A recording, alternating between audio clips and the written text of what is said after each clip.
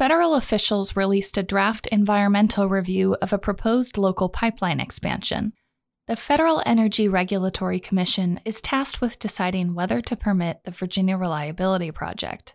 TC Energy wants to dig up, replace, and widen almost 50 miles of an existing natural gas pipeline. It runs from Sussex and Surry counties through Chesapeake and Suffolk.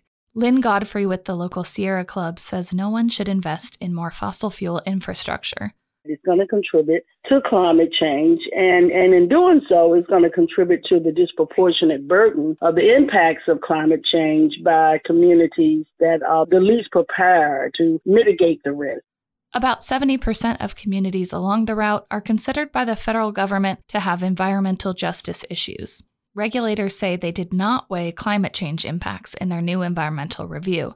Instead, they looked at how the pipeline project could affect wetlands, habitat, air quality, and other factors. They concluded that TC Energy's plans would not cause significant environmental damage. The project would impact some swampland and cause temporary disruption for residents nearby. Katherine Hafner, WHRO News. FERC will hold a virtual public comment session on Wednesday at 5 p.m.